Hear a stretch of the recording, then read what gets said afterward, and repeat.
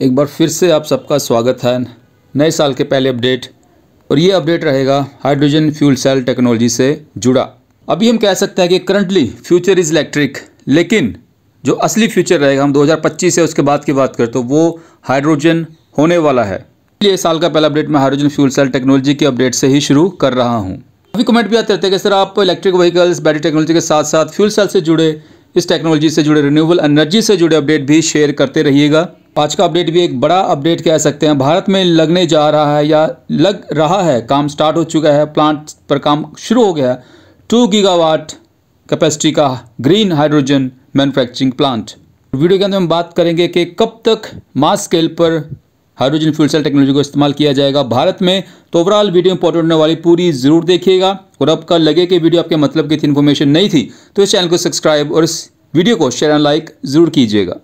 दोस्तों, पिछले साल का जो मेन अपडेट था फ्यूल सेल टेक्नोलॉजी जुड़ा हुआ था कि इंडियन ऑयल कॉर्पोरेशन ने जो उनका आर एंड सेंटर है, फरीदाबाद, वहाँ पर एक प्लांट सेटअप किया था, जहाँ पर वो ग्रीन हाइड्रोजन बना रहे हैं। और ऑलरेडी इंडियन ऑयल कॉर्पोरेशन ने टाटा मोटर्स को पंद्रह फ्यूल सेल बस का ऑर्डर भी दिया है। और इसी हाइड्रोजन से जो उनके प्लांट में बन रही है, उससे इन बसों को चलाया जाएगा। लेकिन इस साल का सबसे बड़ा अपडेट आया है बेंगलुरु से। ओमियम, जो कि US based renewable energy solution provider company है हाल में ही बेंगलुरु में इन्होंने टू गीगावाट का green hydrogen electrolyser giga factory को बनाना शुरू कर दिया है। पीईएम यानी कि proton exchange membrane hydrogen electrolyser जो प्रोड्यूस, जो ग्रीन हाउस है, ग्रीन हाइड्रोजन बनाता है with the use of electricity generated from renewable energy इस इलेक्ट्रोलाइजर से जो पानी है H2O उसको ब्रेक किया जाता है हाइड्रोजन और ऑक्सीजन में। इसी हाइड्रोजन को स्टोर करके ट्रांसपोर्ट करके अलग अलग इंपॉर्टेंट जो प्रोसेसेस है, चाहे वो फ्यूल सेल व्हीकल्स हो या अदर फैक्टर्स हो, वहाँ पर इस्तेमाल किया जाएगा। तो सबसे अच्छा मुझे ओहियोम कंपनी का सेटअप ये लगा कि वो बिल्कुल जितने भी इंपॉर्टेंट कंपोनेंट है इस इलेक्ट्रोलाइजर के, उनको भारत में ही बनाया जाएगा, जिससे ओवरऑल जो डिपेंडेंस है अदर कंट्रीज़ पर, वो खत्म होगी। हम पूरा एक इकोसिस्टम को डेवलप करेगा भारत में। हाइड्रोजन हम सब जानते हैं, काफ़ी इंपॉर्टेंट है, काफ़ी इंपॉर्टेंट प्रोसेस में इस्तेमाल किया जाता है like fertiliser production refinery processing steel production methanol blending और हम फ्यूल सेल व्हीकल्स में तो इस्तेमाल होता ही है।